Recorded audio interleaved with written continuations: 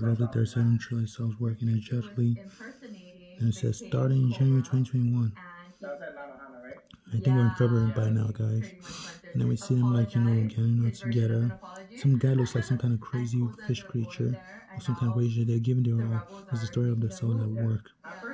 This guy looks like a guy from Pokemon. I'm telling you guys right now. He looks like Ash from Pokemon.